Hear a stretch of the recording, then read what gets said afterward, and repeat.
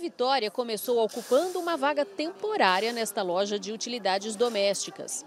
Hoje, dez meses depois, ela já assumiu um cargo de liderança. A minha experiência era totalmente diferente em, outras, em outro tipo de área, né? Não era utilidade, era trabalhava com roupas, outros tipos de vendas. Aprendi tudo aqui dentro, tudo é possível, sabe? Para quem tem foco. A loja abriu 200 novas vagas para este fim de ano. As contratações já começam em outubro.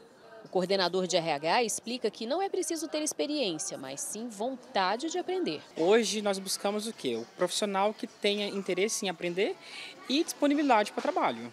Né, que o resto deixa com a gente, que nós qualificamos, integramos no negócio. Nesta loja de calçados são oferecidas 100 novas vagas. E de acordo com a gerente de RH, 90% dos contratados são efetivados após o período sazonal. Super oportunidade para quem quer entrar no mercado de trabalho, quer ganhar bem, porque as nossas áreas de venda ganham-se bem, pode chegar a ganhar até 5 mil reais na área de vendas, então é muito bacana.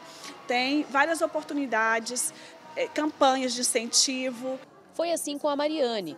Ela se identificou tanto com a empresa que quer fazer carreira por aqui. Não adianta você vir com o pensamento de, ah, e se eu não, não der certo? Você tem que vir fazer seu melhor, porque e se der? Você nunca vai saber. Mais de 5 mil vagas temporárias devem ser abertas no varejo em Goiás.